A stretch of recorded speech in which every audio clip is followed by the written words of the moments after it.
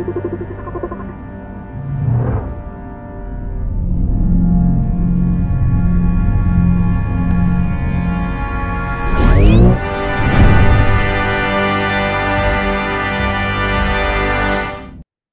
fellow travelers, and welcome to Versus Stars podcast. How my loyal listeners? Thank you for continued support. And remember, click subscribe button, everybody. It's an amazing episode because Jadzia Axelrod boards the mothership. She's the writer of Hawkgirl from DC Comics. Now come aboard as we go traversing the stars. Hello, Miss Axelrod. Thanks so much for coming to Versus Stars podcast. Oh, happy to be here. It's totally Always good. pleasure. Always good to talk about Hawk Girl. Like I will always do that, I, no I, I matter the time or the place. yeah, it's so cool that ha- the Hawk Girl has her own series. It's, it's been a long time since it's been a Hawk Girl title time. title. It's been a long time. Now, were you a fan of the Hawk Girl series going all the way back to that post Palmiotti series that came out in God? How long ago has it been? It's been a while. Um, like she's been around since uh JSA started. So back in 99, 2000, somewhere around there. And then in about oh, people are gonna get mad at me for getting this wrong. I think it was 2006. Uh Hawkman turned into Hawk Girl, and that was when Walt Simonson was was writing it. And um yeah, and I I was reading JSA as it was coming out a million years ago, and I was very excited when she when Kendra took over the Hawkman title. So yeah, I've been a fan of this character almost since as long as she's been around. Now, were you interested in her first from the Justice League cartoon, or was it directly from the comic books first? Uh directly from the comic books because the one in the cartoon is different.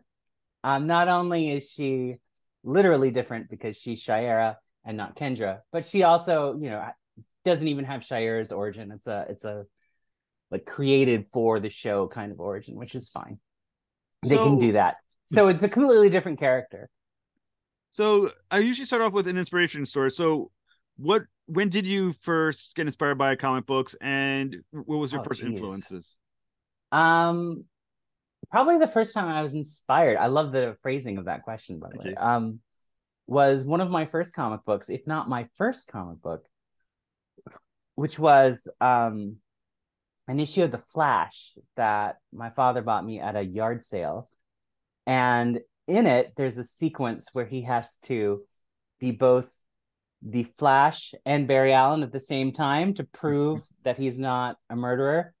Um, don't it doesn't matter why just know that, that that's the context so what he does is he knocks on his own door as the flash and then vibrates through the door takes off his costume puts on a robe and then opens the door takes off the robe um run, puts his costume back on and then it's the flash and just goes back and forth really fast excuse me, and uses the after images to have a conversation with himself in front of a person who thought he was a murderer.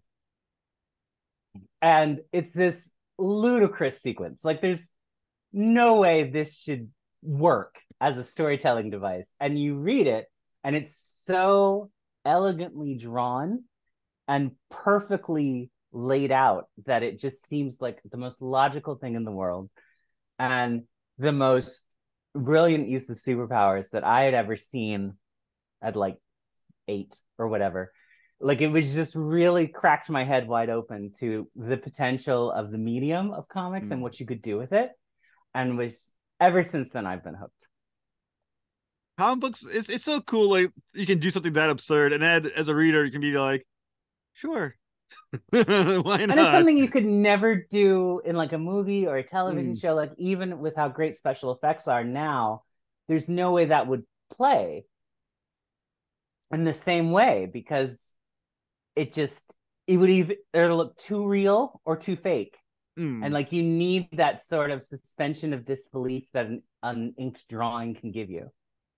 So when did you think to yourself, I'm gonna be a writer, and which writers did you turn to and go, I can I can be like that? Oh, I mean, very early on, like I've always been telling stories. It's something that uh, my mother talks used to talk about all the time. Um, so like very young, very young. As far as like telling specifically comic stories, um, the major influences when I was like a teenager were like Neil Gaiman, Hmm. uh, Grant Morrison, um, Los Bros Hernandez. Like I was a huge Love and Rocket- Rockets fan as a teen. Like that book was everything. Um, because it was like real stuff. yeah. Um, and also beautiful. Like Gilbert and Jaime were just are just amazing uh, illustrators, and so to read these like very raw stories and these Mhm. very beautiful, um, laid out pages that were also oversized. That was another thing, right? Because those comics are big compared to everything else. So you had this Right. big comic with these big ideas and these big personalities. It just did a lot to like 14 year old Jadzia.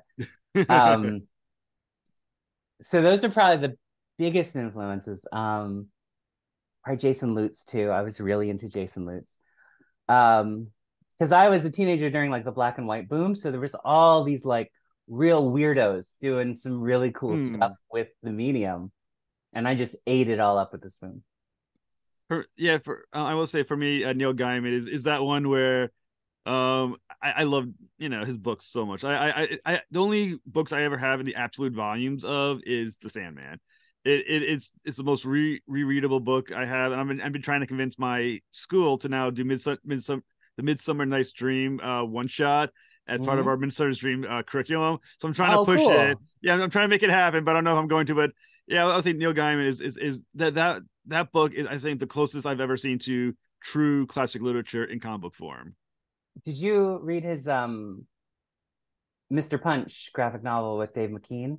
unfortunately that's one is one of the ones i don't Oh, have No, you need to. You no, no stop the interview. Go read it now. It- it is so good. It's his best work. I feel like it's really both him and Dave McKean at the top of their game, okay doing firing on all cylinders, and it's per personal and fantastical, and like everything they both do so well. Like it's one of the best, certainly the best thing I think they've done together, and Okay. like possibly one of the best graphic novels ever. I would totally check it out. The, I remember it came out around the same time with another one of my favorite books of his, uh, Murder Mysteries, which Mhm. is that, that one had such a big influence on me. That's the one with the angels and the murder, the first the first murder. And, Right, uh, that's thing Grant. Morrison, right? Uh, well, the Gaiman wrote that one. I don't know who did the art for, but that, that was oh one. no, no, right. I'm sorry, I'm thinking of something else. yeah, Um, right, and that's uh, John J. Muth is the artist Yeah. on that one. and yeah, that one's um it's so classic. It, it kind of reminds me of the movie The Prophecy. It- That kind of like those are the ones that sort of had a huge influence on me. And um, yeah, Gaiman's one of the ones. Every time someone says Neil Gaiman, I was like, he influenced so many people. He's probably like the Stan Lee of like our generation. I mean, yeah, an argument could be made for sure. I, I would think so. I mean, at the very least, maybe not from the creating new character standpoint, but as far as impactful story standpoint. Mm-hmm.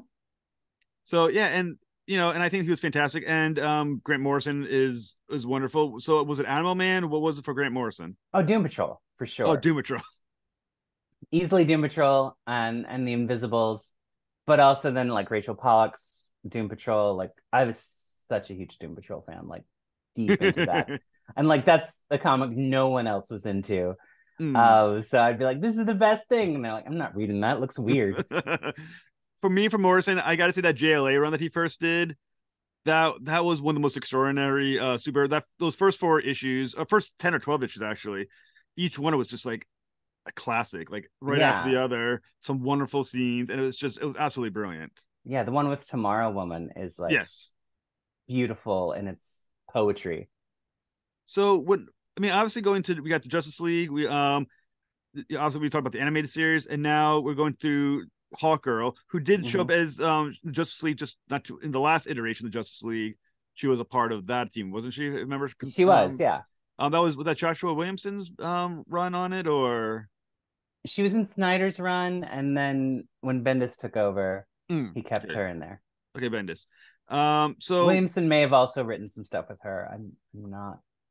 Now I'm now I'm reconsidering. right, right. I'm, I'm trying. To, it's like it's been such a blur the last 10 Yeah. years or so so I was trying to come up which ones but now did you go to them and say i want to do a hawk girl story or did they come to you and say how would you like to do a hawk, hawk girl Oh, they came to me. I was offered Hawk Girl, um, which was very flattering, and and I, was happy to do it. Um, the editor um, really liked what I had done with Alysia Yeoh in the uh, DC Pride story, and I was had taken this character that a lot of people didn't know and weren't familiar with, um, and like had given her a context and a reason to like her Yeah. in a very short amount of time. And essentially, they said, "Do this with, but with Kendra." So, and I was happy to do it. I love that character. There's a lot of stuff to dig into. Um, and they told me that all of the continuity was available, so I could use whatever stories that happened previously that I wanted. I was like, wonderful, because she does have a rich history of like really interesting conflicts, and like, um, to pull that out from her perspective as opposed to say Hawkman's perspective or Alan Scott's perspective or Jay Garrick's perspective or Roy Harper's perspective and to have these characters um have Kendra be the one who we look at through through her eyes these stories rather than everybody else I think was very exciting to me as a writer. So when you um got got the pitch to or to do Hawkgirl, I mean obviously they brought it to you, but they expected you to come up with a pitch for them to what, what you were gonna No do pitch. with it. They were like No do pitch. whatever you want. Just do whatever you want. Okay. So so what was the aspect of the character then that when when you're conceiving it and getting ready Mhm. to approach it, um, that you found as your hook to go, yeah, I got this. I know what I want to do. This is the angle I'm going to use for the story. Yeah. Um well a lot of it was like rereading those old stories that I loved back before. So rereading the JSA, rereading the Hawk early Hawkman stuff. Um and there's a Hawkman issue, I think number eight. So really early in the Geoff Johns run. Mm. So really early in that. And it's um Hawkman essentially goes on a date with the Atom. So he's not doing anything and Kendra gets to be a superhero alone for the first time. And this is the first time we really see her do her superhero thing by herself. And it's really interesting, like showing who she is as a character and showing who she is as a character and what she does and how she does it. And also showing her, like, she's a character who struggles with depression. She's a character who struggles with a feeling of like measuring up and wanting to measure up and wanting to not be anything less than not necessarily perfect, but like competent, right? Like Mm. she's really motivated to prove herself, especially in those early issues. And it was really interesting to me to like, okay, that's an important part of her character then. She has proven herself, right? She's part of the Justice League multiple times over. Like, if anything has, like, she knows how to be a superhero now. And so, what if we turn that on its head then? And like, she has gotten so good at being a superhero. What if then she's now not very good at be- being a person? Hmm. And exploring that element was really exciting to me. Now, I sometimes um and and, I, and I'm not. I mean, I, I I may be wrong in this, but I feel like sometimes a character like Harker gets disregarded because uh, for some reason, like Supergirl, they're viewed as just the female version or the lesser version of the male main version of that character. You know, Su- Superman, is Supergirl is the lesser version. Hawkman's the main one. Hawkgirl is the lesser version. Now, when you're creating and writing for a Hawk Hawkgirl, how do you make sure she's established as being something full unique from the counterpart? Yeah, well, I think that's the beauty of doing Kendra as opposed to the other female characters who have held that title. So different from Shiera Hall from the Golden Age and Shiera Thal from Hawkworld and um, other places, other comics that she's been in. um, the beauty of doing Kendra is that she is separate from Hawkman, that she has a an origin and a life that is separate from these other characters. And you can tell the you can tell different stories with her that don't have to revolve around the same villains that Hawkman fights the same scenarios that Hawkman finds himself in. You can tell new stuff with her and different stuff with her because she is not necessarily tied to the Hawks. I think that's Hmm. very freeing right? So you can tell stories with the Hawks but you can also tell stories without the Hawks and it doesn't seem weird because she's kind of her own beast. So, as far as the, what what would you say then is her primary trait as a character that you're expanding on, developing, and kind of putting your spin on that that aspect of her? I always saw her as kind of a knockaround guy. Um, you don't see women as that trope, like that's the Hellboy or the Wolverine, right? right? Like that monster fighter who like gets thrown around, but is still gets back up and's like, all right, all right, you got one, but here I'm gonna we're gonna go, right? Like I see her as a very Hellboy type character in that way. Yeah. Um because she has that advantage of having a healing factor due to the nth metal like she can take punishment and then get back up and be like let's go i'm still in this and i i think that's an element that sh- other justice leaguers don't really have like superman's invulnerable and like batman is always going to get up but that's a whole batman's his own thing right and like so this sort of like um vulnerability without losing toughness yeah is I think very appealing and not something we see in female characters at all. So to put that aspect of Kendra's character, which is something that's always been there, and like make that the forefront, is very exciting to me, and I really liked doing that. So you know, yeah, she's a knockaround guy. You know, I always kind of fun. Um, I used to always argue that Hawkman was Hawkman, but Hawkeye I can say as well was the Wolverine of DC. Uh, and instead of the the claws, you had this the mace. You know, you got the right. fake mace, and I'm, th- and I'm and I'm thinking to myself, like, why was has Hawkman never been had never had a truly successful series? Considering he is the Wolverine of his universe, he should be so popular right now. well, I mean, maybe it's because uh Hawk Girl is the better version. That's possible. That's very possible. we'll see. Well, I'm gonna use a quote from Hawk Girl three, if you don't mind. That, that, that, that you give. You say, the lives we've made, the people we've become through the effort of years, that's who we are. Now, the interesting thing about, I mean, that's true of, of it can be true of anybody.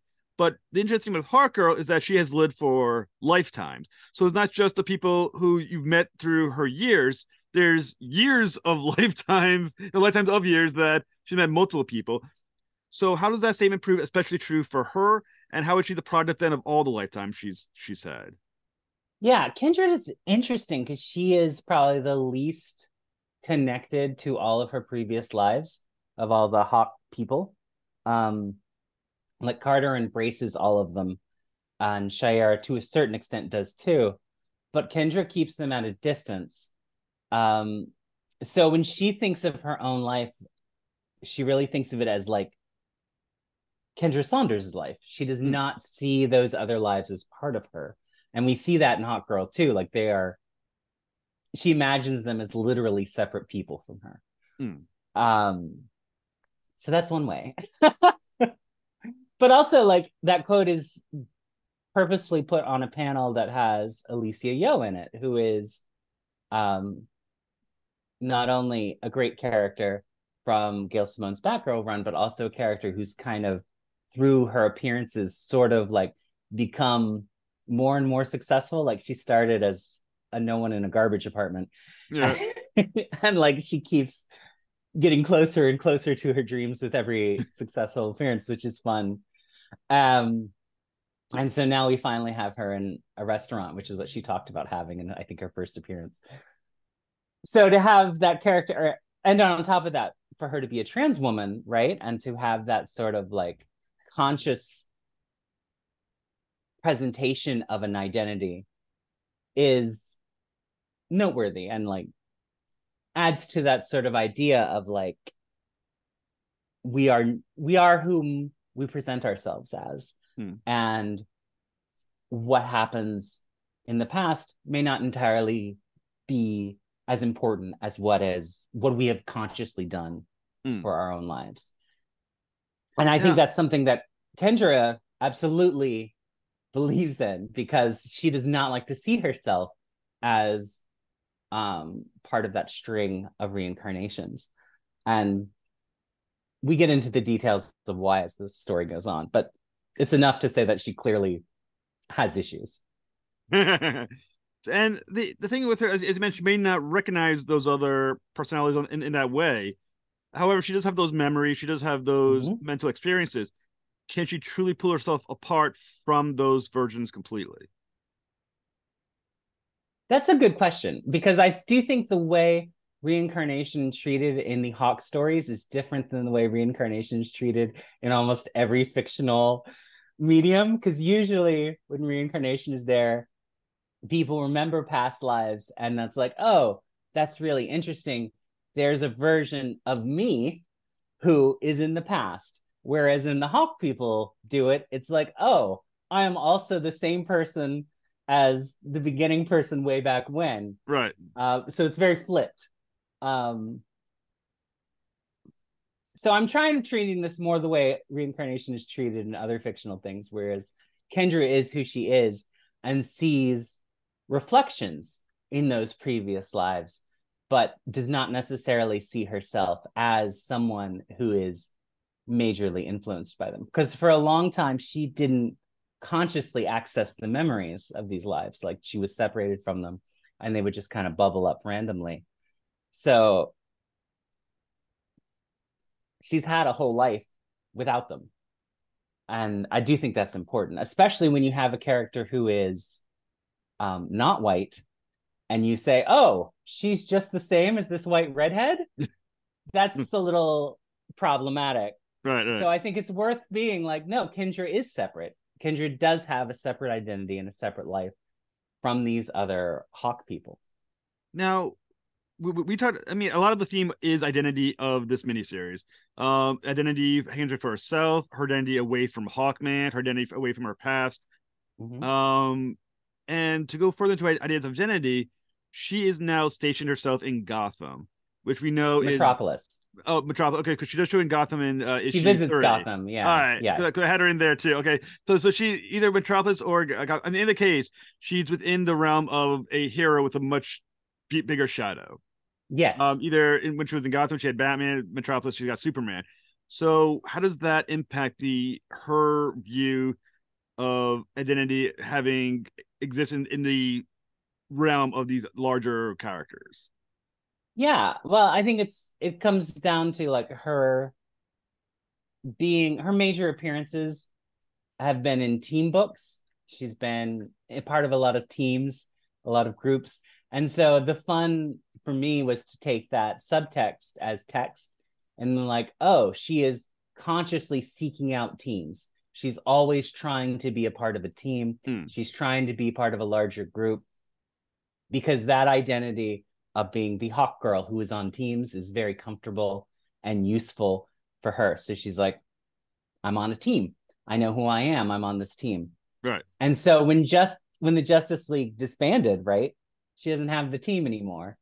So what do you do? You go to a place where you're probably going to run into other superheroes. And like that's kind of like being on a team, right? You have other superheroes who are just there. It's like you're on a team. You're on a team. I like people were point, pointing that out in the first issue because she's like the Justice League's disbanded, but there she is hanging out with Black Canary and Superman and Power Girl. It's like, isn't that kind of the Justice League? And it's like, yeah, it is. That's why she moved to Metropolis. and you know, and uh, she she makes a reference to to uh, one one of my the characters I loved. We're talking about the Grant Morrison run is Zauriel, who who who was such a cool character, and I must admit, um, and, and it's a reference to Zauriel in Hawk Girl three. hmm What issue does that pop up in? Because I don't know if I going back. Yeah, and an early um, JSA story, uh, Zauriel tells Kendra that she is not Kendra, that she is in fact uh, essentially possessed by the ghost of the Golden Age Hawk Girl. So, do, do, do and like it's presented as a very like like a very shocking kind of thing right? But shocking not from kendra's perspective from everyone else's. And I, we never really get to like delve into how she feels about this. And i Hmm. and that's why i wanted to kind of have that scene where she talks about like being looked in the eye by an angel and being told you're not who you say you are. Like that's difficult right? And that's got to be um trying. And especially because that's a recurring motif in kendra's stories is you have these men telling her who she is like over and over again. And some of that comes is like a genuine like nice storytelling thing. And some of it is like why does this keep happening? And like you see it as a recurring motif and it's it's very strange that this does keep happening that these men keep usually older men too which is another weird thing keep telling her that she's not who she thinks she is and one of the things we are trying to establish with hawk girl is that she is who she thinks she is and that is more important than what other characters have said about her Mm. Now, what, what the thing with um th- that scene is that once again she shows that she's, there's a lot of anger there towards J'onn J'onzz, uh, Hawkman, Ashley Mhm. Um, and it's also mentioned several times that, or at least this is the concern that she's worse off because she's not on the Justice League. Since it's demanded disbanded, she's so much worse. Some characters like referencing that.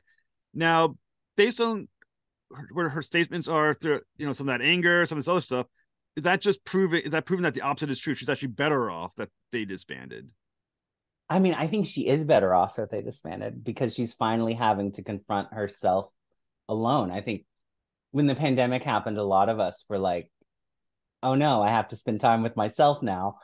And really, and a lot of people had these sort of like emotional breakthroughs when that happened. And there- was a lot of like divorces and and things. And a lot of people like discovered things about themselves that they had kind of put aside because they were so busy being part of a job or part of a family or part of this. And now all of a sudden, when those things were taken away, we had to be alone with ourselves and make new decisions. So it is not surprising to me that Kendra, when she doesn't have the constant distraction of being part of the premier superhero team of the world, is like having to deal with stuff that she had kind of repressed and not Um, in in the series, is also another character that is from a book that you wrote, uh, Galaxy. yes. Now, is Galaxy once again is, is um is another character. She's kind of doing her own thing. Who's kind of um uh, the word the right word isn't adhere to Hawk Girl, but at the at the very least, she's trying to um em- embrace Hawk Girl as part of like a, a, a, a part of her friend group or um Yeah. or, and it's, it's some almost like a mentorship, but it's kind of like um it's something for it's an exchange really because like like we said kendra is someone who's focused a lot on being a superhero and not much on being a person Mm. and galaxy has focused a lot on being a person and needs help being a superhero so they are helping each other by like filling in the gaps that those characters have in their lives Now, because we're discussing Hawk Girl finding her identity away from a team, is Mhm. is there a way to for her? Is there a danger of her losing part of her identity if she kind of forms this new team with some of these other characters that are kind of in the Hawk Girl mini? No, I don't think so because she is not even though Galaxy is a superhero, Galaxy is definitely interacting with Kendra on a very personal level. Like this is a friend more than a teammate. And what has been fun is to kind of see Galaxy bring that friendship and that casualness to the superhero interactions and you can see that sort of kind of chafe in issue 3 um where Galaxy is much more casual with everyone's interactions while Hawk Girl's is very serious and to the point. And so we're starting to see um kind of Hawk Girl's walls break down in the face of um Galaxy's just general congenial manner. So the interesting thing is, I've been buying Hawkman for issues for a long time. I mean, I have like a hundred and something issues of Hawkman uh, storylines, and I never saw the thing about the nth dimension, um, nth metal dimension and or world. So I thought it was me. I was like, what did I miss? Did I forget? But this is a brand new, a brand new thing. So can you kind of dive into what that means for the Hawk person mythos?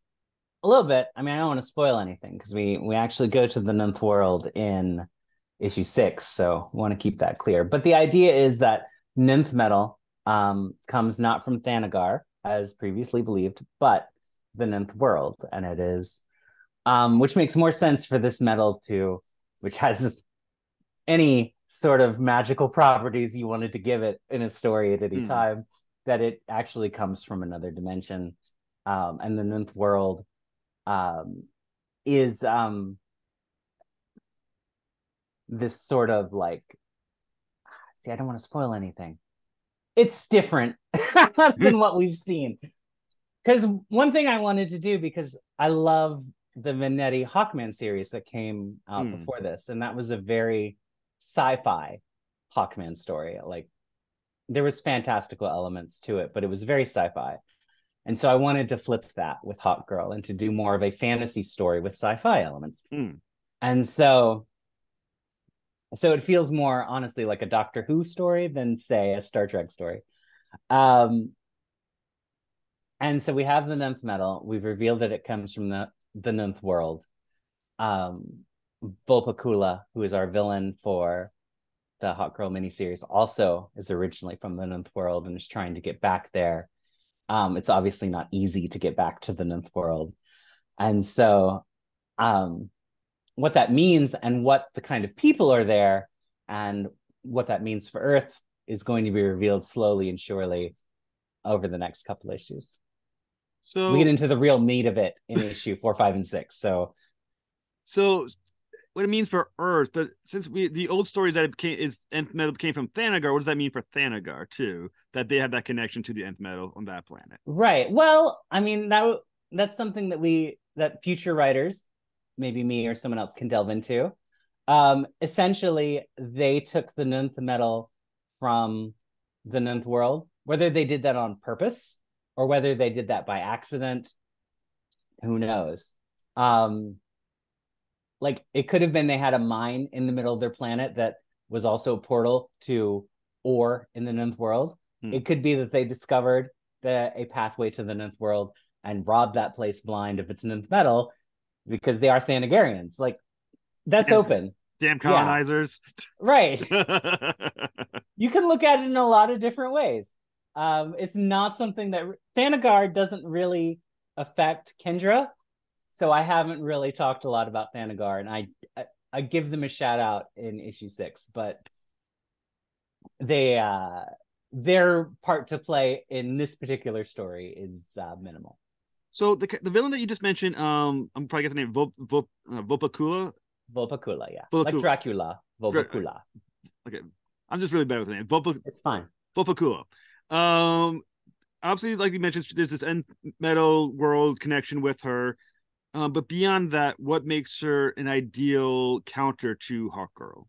Well, I wanted to give Hawk Girl a villain that she couldn't just hit in the face and then it would be over. Uh, that's the problem with having a knockaround guy character is you Yeah. they can't have just a punchy villain because then they'll just punch them and then that'll be done. so it, the idea was to give her this like Joker esque figure of someone who had lots of plans and schemes. And even if you did manage to like punch them in the face, that wouldn't mean that their plan was done Right. um so to have this trickster character and also when you have an animal based hero i don't know about you but the first thing i did was like let's have some animal based villains like we have a hawk girl who are some animals we could pull in Right. right. um hawks of course are alpha predators so there's not a predator for hawks but there are other animals that they compete for resources with so um like foxes and ravens and other sorts of things that all go after the same prey so to i had this like short list of like animals hawks don't like. Like who can we bring an animal villain into? And and fox was right at the top of the list. Was like of course we got to have a fox character. We have to have a trickster character. Those are characters i've always loved in legends and stories. So let's bring that in. Let's have a a female trickster character a rarity. And let's have her be a female trickster character that um doesn't use sex as their trickster element let's have someone who is just like doing something else really like i didn't want a, a sexy fox lady like Volpacula has a sex appeal to herself, but like I didn't want that to be her whole shtick, Mm. right? Like so many female characters, that's all they do.